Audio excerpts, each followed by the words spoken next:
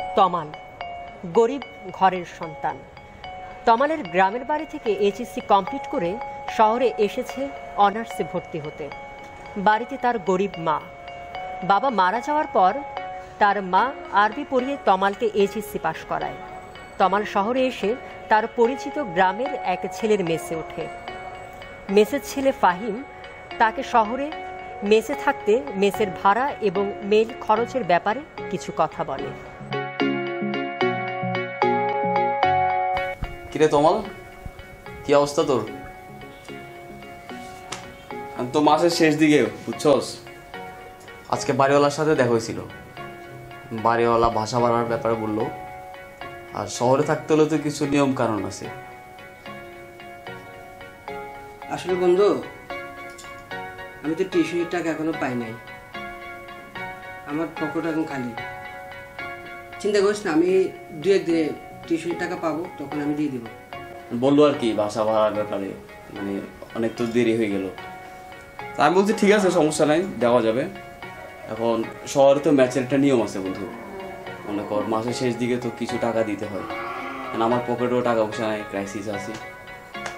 তো মিল টিলও লাগে মিলের খরচ এগুলো সামনে দেখা যাবে। আপাতত তুই হচ্ছে একটু বাড়ি ভাড়ার টাকাগুলো ম্যানেজ করতে হবে বন্ধু। আচ্ছা। একটা সিস্টেম আছে তো আর আমার তো ক্রাইসিস চলতেছে তুই জানোসই একটু চেষ্টা কর বন্ধু। আচ্ছা। আর তারা হলে কিছু নাই আর্জেন্টের কিছু নাই তুই একটু দেখ। আর জানাইস আমাকে ঠিক আছে সমস্যা নেই। ঠিক আছে। ওকে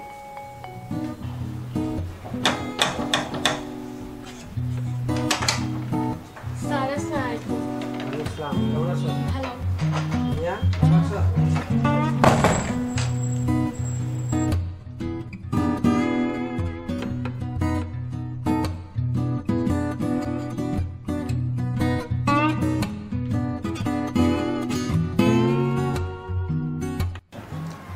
আজ তাহলে তোমাদেরকে গ্রামার পড়াবো।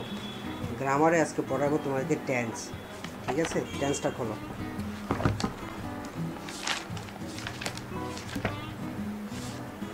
তাহলে আমি বলতেছি, তাহলে তুমি শোনো। কোনো কাজ বর্তমানে হচ্ছে, অথবা অতীত হয়েছিল, অথবা ভবিষ্যতে হবে এই রূপ বোঝালে বাহ্য রূপের যে পরিবর্তন তাকে টেন্স বলে। টেন্স কত প্রধানত কয় প্রকার? তিন প্রকার। তিন প্রকার। Present tense past tense tense অতীতে কোনো কাজ হবে হয়েছিল এরূপ বদলে তাকে ফার্স্ট টেন্স বলে। মানে আমি তোমাদের যদি গতকাল পরে গিয়েছিলাম এটা কিন্তু ফার্স্ট হয়ে ভবিষ্যতে পড়াবো। ভবিষ্যতে কোনো কাজ হবে এরূপ বদলে তাকে ফিউচার টেন্স বলে। ঠিক আছে? বুঝতে পারছ? তাহলে প্রেজেন্ট টেন্স প্রধানত কয় প্রকার? তিন প্রকার। তিন প্রকার। কি কি? Present tense future tense। ঠিক আছে বর্তমানে কোনো কাজ হবে বুঝলে দেখেন প্রেজেন্ট টেন্স অতীতে কোনো কাজ হবে হয়েছিল এটা বুঝলে পাস্ট টেন্স আর ভবিষ্যতে কোনো কাজ হবে তা বুঝলে টেন্স বুঝছ মরিয়া বুঝছ? অপু বুঝছ? হ্যাঁ। কোনো সমস্যা নাই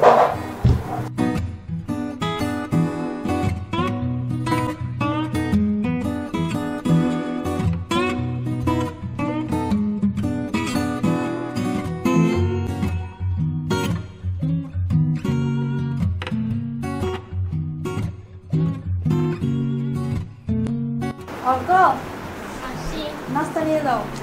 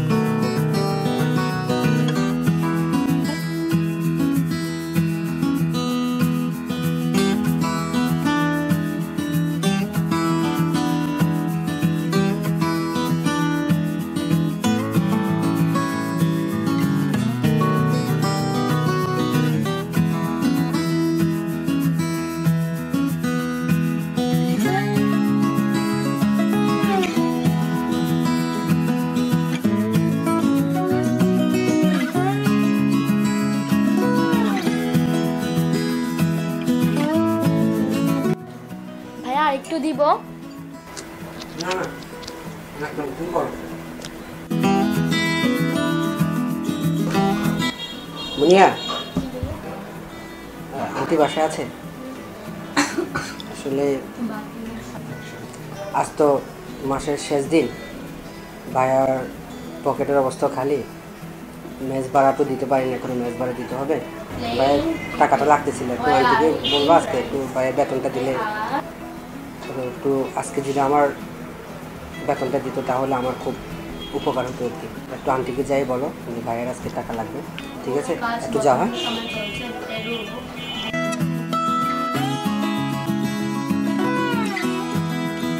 দেওয়া হয় যখন সেমিকোলন ব্যবহার হয় যেমন ইন্টারনেটে with ten divided we feel ওই আম্মু বলছে যে আমাদের কোরবানি গরু কিনছে তো এখন আম্মু কাছে টাকা নেই। আপনি থেকে বলছে আম্মু কালকে। আচ্ছা ঠিক আছে, তাহলে তোমাদের টেন্স পড়া থাকল, কালকে হোমওয়ার্ক থাকল, খুব ভালোভাবে পড়বা, ঠিক আছে? তাহলে ভাই আসে হ্যাঁ?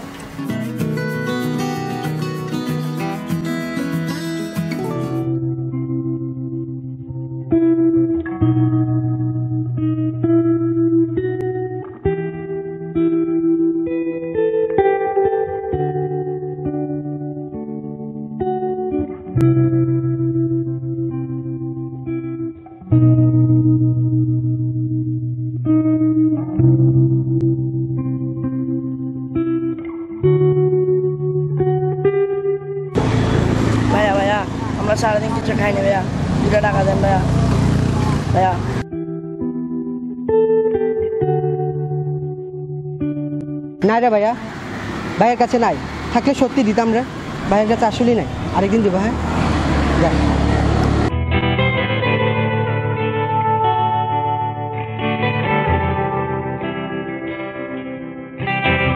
হাই দুনিয়া আমি মনে করছি পৃথিবীতে আমি সব থেকে গরিব। আসলে আমার থেকে খারাপ অবস্থায় কত মানুষ আছে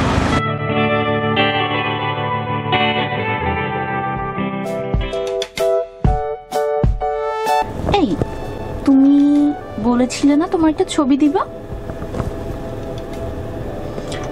না এটা সম্ভব না। তুমি আমাকে তোমার একটা ছবি দিলে আমিও তোমাকে আমার একটা ছবি দিব। না আমার লাগবে না। আমি কতবার তোমাকে বলেছি আমি দেখতে একটু সুন্দর না। তবুও তুমি বারবার ছবি চাও কেন? এমনি চাইব আরও একশো বার চাইব। শুনো তোমাকে একটা কথা বলি। আজকের পর থেকে তুমি আমাকে আর কখনো ফোন করবা না। ইভেন কোনো মেসেজও দিবা না। আর আমিও আজকের পর থেকে এই সিমটা অফ করে দিব। তুমি আমাকে কোনো মেসেজ করলে আমি দেখব না। ভালো থেকো। আমার সাথে কথা না বললে আমি মরে যাব। আমি কলেজেও যাব না, কিচ্ছু খাব না, সারাদিন না খেয়ে থাকব। সীমা অনেক মেসেজ দিল, কিন্তু কোনো রিপ্লাই আসলো না। ওরা একে অপরকে অনেক ভালোবাসে, কিন্তু কেউ কাউকে দেখেনি। না দেখলেও একে অপরের মধ্যে অনেক ভালোবাসা। প্রতিদিনই তমালকে দেখার জন্য সীমার সাথে তমালের কথা কাটাকাটি হয়। কিন্তু তমাল ছবি দিতে রাজি হয় না। কারণ একটাই, তমাল দেখতে এতটা সুন্দর না, আর পারিবারিক অবস্থাও বেশি একটা ভালো না। তাই তমাল সীমার সাথে এমন করছে। প্রায় তিন দিন পর তমাল ফেসবুকে আসলো। এসে দেখে প্রায় চল্লিশটার উপরে মেসেজ দিয়েছে সীমা। তার ফোন নম্বরটাও দিয়ে দিয়েছে। তমাল খুবই চিন্তিত হয়ে গেল। সীমা প্রায় দুই দিন অনলাইনে আসেনি। না জানি কি পাগলামি করছে সীমা। অবশেষে তমাল সীমার খবর নেয়ার জন্য সীমার নম্বরে কল দিল। হ্যালো? কে? মানুষ। আপনি কে? আমি তমাল। ও তুমি? আমি সীমা। কেমন আছো? হ্যাঁ আমি ভালো। তুমি আমার সাথে কাল দেখা করতে পারবে? কেন পারব না? অবশ্যই পারব। কখন দেখা করবে বলো?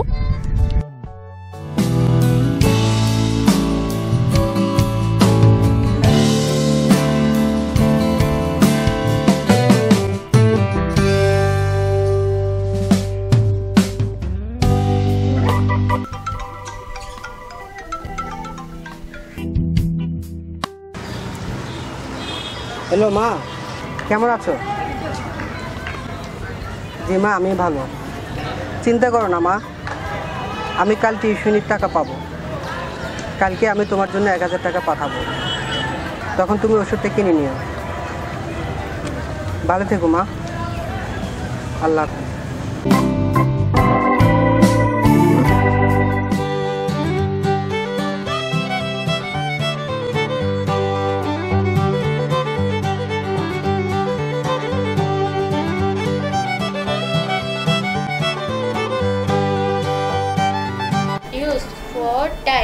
One day he was. হ্যাঁ?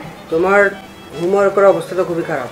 তুমি তো পড়ালেখা কম করো মনে তো ঠিক আছে তাহলে আর যা পড়ালাম কাল তোমাদের হোমওয়ার্ক থাকবে। হোমওয়ার্কগুলো করে রাখবা ঠিক আছে? তো ভাইয়া তাহলে আজকে আসি। ভাইয়া একটু বসেন। আম্মু আপনাকে পুষতে বলছে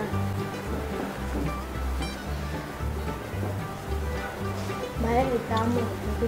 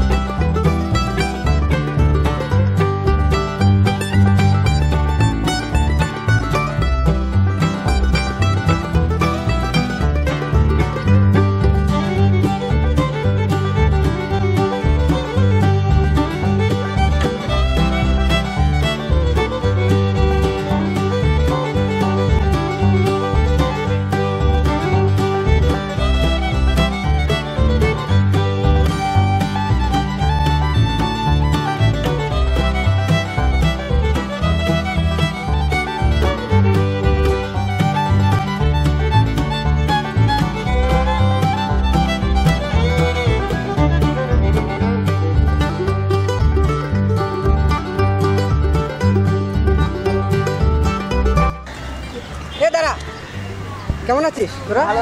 ভালো আছিস না? খাচ্ছিস কিছু? চল আজকে তোদেরকে নেম আমার টাকা আরে পাগল তোদের কাছে টাকা রেখেছে আজকে ভাইয়ের কাছে টাকা আছে তো। আজকে ভাইয়ের কাছে অনেকগুলো টাকা দেখ অনেক টাকা আজকে ভাইয়ের কাছে। সমস্যা চল আজকে ভাই খাওয়াবো। আয়। ভালো আছিস না?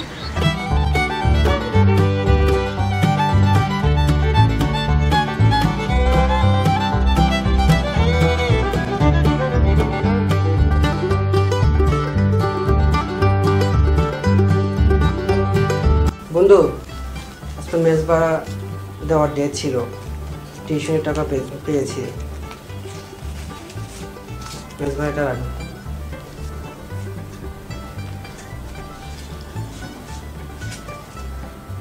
কি রে, খালি তিনটা যে?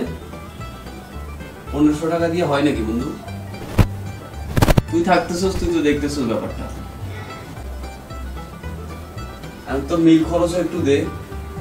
বুঝতেছস সুস্থ ব্যাপারটা, তুই তো থাকতে সুস্থ, তুই দেখোসি পনেরোশো টাকা দিয়ে তো হবে না বন্ধু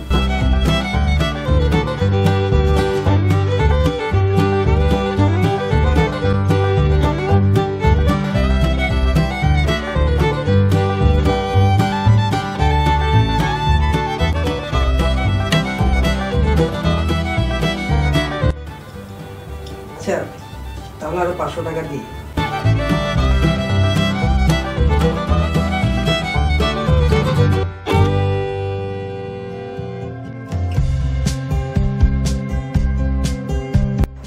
দেখা করাটা আসল উদ্দেশ্য নয়। আসল উদ্দেশ্য হলো সম্পর্কটাকে শেষ করে দেয়া। তমাল জানতো সীমা তমালকে দেখলে কখনোই পছন্দ করবে না। আর তাই আগে থেকেই সব কিছু সমাধান করার জন্য আগামীকাল দেখা করতে যাবে। দেখা করার দিন তমাল পার্কের একটা টেবিলে বসে আছে। তুমি তমাল? হ্যাঁ আমি তোমার তাই বলে এই অবস্থা কেন? আর পায়ে কি পড়েছো এটা? এত নর্মাল শু আমার এই এক জোড়াই ভালো। জুতো। আছে এর থেকে ভালো জুতো আমার নেই। আর গায়ে? এটা কি ধরনের শার্ট এত কুচকানো মনে হচ্ছে তুমি লাইক কোথাও থেকে টেনে হিচড়ে বের করে এনে পরে চলে এসেছ। এটা কি ধরনের শার্ট এটা আমার কলেজ শার্ট আর এটাই আমার সব থেকে ভালো shirt seriously I can't even think যে তুমি এইভাবে আমার সাথে দেখা করতে এসেছ। তুমি ও my god I can't even think তুমি এগুলো পরে আমার সাথে দেখা করতে চলে এসেছ?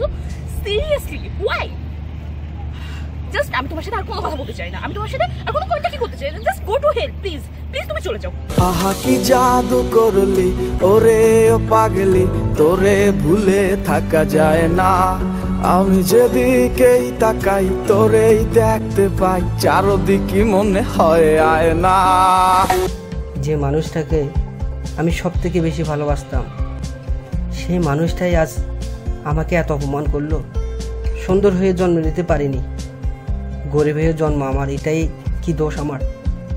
আর পৃথিবীতে সবাই তো ধনী হতে পারে না।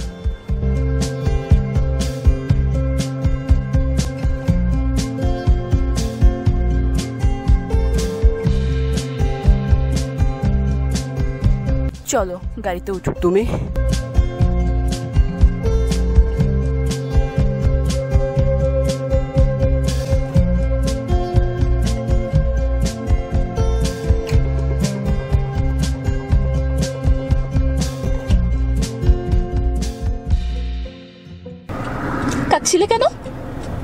এমনি। এমনি এমনি আবার কেউ কাঁদে? না কিছু না। আমি একটু বকা দিয়েছি তাই বলে চলে আসবে। আমাকে নামিয়ে দাও আমি বাসে যাব। আগে তো বলেছি শুধু থাপ্পড় দিব এবার শুধু থাপ্পড় না তোমাকে ঠেলে ফেলে দিব। আমাকে দেখতে চেয়েছিলে তাই আমি দেখা করেছি।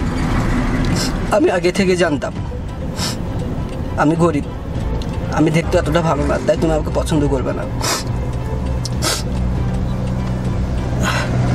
তুমি দেখা করতে চেয়েছো আমি দেখা করলাম। আর আমি যা মনে করছি তাই হলো। আবার ও তো গরিবের মরি যাওয়া উচিত। জীবনেও না। তুমি মরলে আমি বাঁচবো নাকি? মানে? আমি তোমাকেই ভালোবাসি। আর সারাটা জীবন তোমাকে ভালোবেসেই থাকব। কি যে বলো? কোথায় তুমি আর কোথায় আমি? আমি তোমার চেহারা টাকা পয়সা ড্রেস আপ আমি কিছুকেই ভালোবাসি না। আমি শুধু তোমাকে চাই তোমাকেই ভালোবাসি।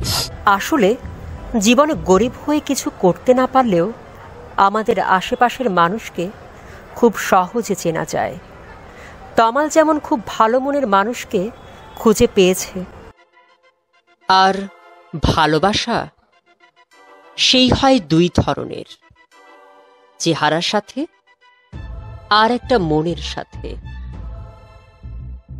চেহারার ভালোবাসাটা চেহারার সাথেই বিলীন হয়ে যায়। আর মনের ভালোবাসাটা থাকে মৃত্যু পর্যন্ত।